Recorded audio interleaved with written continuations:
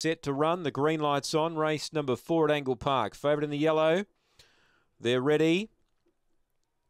Set now racing. Big Opal Rock stepped okay. Springvale Maddie's got more speed. Big Opal Rocks is moving to second, gets within a length and a half for the leader, and tracks a little deep but stays out of bother. Bernardo Bowl goes around him now, and now the favourite back to third.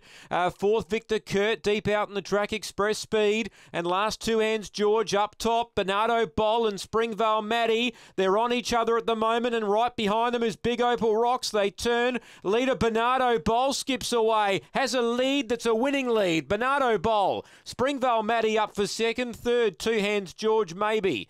From Big Opal Rocks, Victor Curtin Express Speed. Bernardo Bowl has lifted when it counted to win. Tony Rasmussen, one Springvale Matty second, and five third Big Opal Rocks. Four is fourth, two hands George. It's 8 1 5 and 4 here. Time 30 and 89.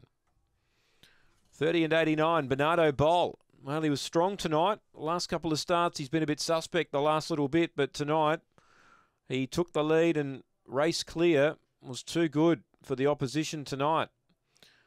So it's 815, 815, and fourth goes to number four. Take note here at Angle Park.